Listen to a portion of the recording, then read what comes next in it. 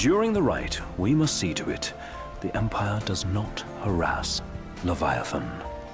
Gonna be tough to pull off before the king receives her power. And with three of us on evacuation detail. Indeed, the best we can realistically do is to help the Hydraean help herself. What kind of help you talking about? Just like Titan, the Empire will seek to immobilize Leviathan. Ah, with the harpoon things? If we can dislodge them from the goddess, she will have a fighting chance. Sounds good in theory, but don't push it. It's pointless, unless you can get that blessing. Stay flexible, stay alert. All right, will do.